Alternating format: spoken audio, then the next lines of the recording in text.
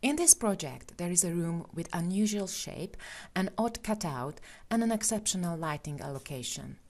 Let's look how to create such a cutout without using the automatic profile. Now we want to draw this odd shape. Select the ceiling and from the local menu select Add Hole command. As the contour of the hole has been already drawn, from the ribbon bar select the closed loop and then click on Inner Point of an Area command and finally click into the center of the shape. The hole has been created. Prepare the hole with this method for the circle.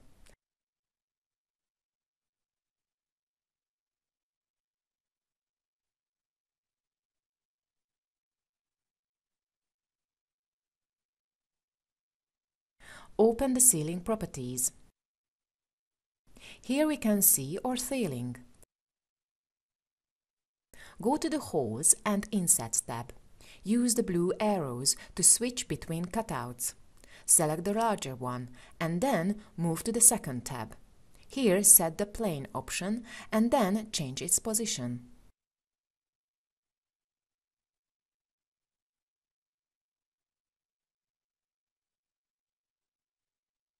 The vertical offset value should be minus 300 mm, so the inner ceiling will be lower.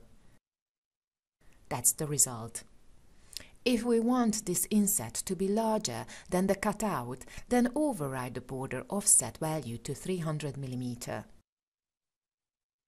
So we get this as a result. Place a border on it. There will be no gap between them. The default 150 mm border will now be too low because we set a 300 mm as a border offset. Enter the border properties and change its height to 300 mm. To accept, press OK button and finally change the vertical offset value to minus 280 mm. As the border is 20 mm wide and we don't want it to get to the bottom but to the top. Finally, the inset should be where the outside contour is so let's change the horizontal offset to 300 mm. If we want to create such an inset on ceiling, then follow this process. Repeat this method on the circle as well. First, let's define the profile we want to place here. We also need to specify whether this profile should be larger or smaller, and also should it differ from the cutout level.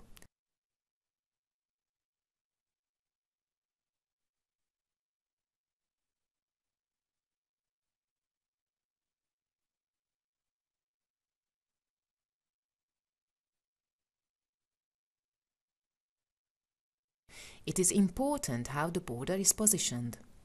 Here we will use the vertical offset value minus 280 mm and also we need to change the height of the border to 300 mm as we did in the previous example. We practically finished and in this case we will not pull the border out to the edge. Now we can see two different examples of creating elements that rise from the ceiling. Finally, let's look an example how to distribute light series along this curved line. Go to the Lighting tab and add a completely new profile. To do this, click on the star icon and then click on Select an Item command on the top menu bar and select the line with one single click. If you click on the green tick in the appearing dialog box, the allocation will be displayed immediately. If we consider that the current allocation of the 600 mm is appropriate for us, then write over the distance to, for example, 1000 mm in the properties of the lamp allocation.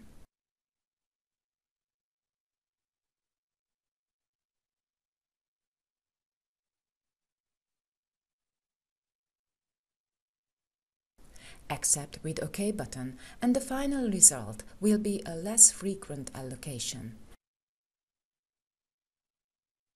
Accept with OK button and the ceiling is completed.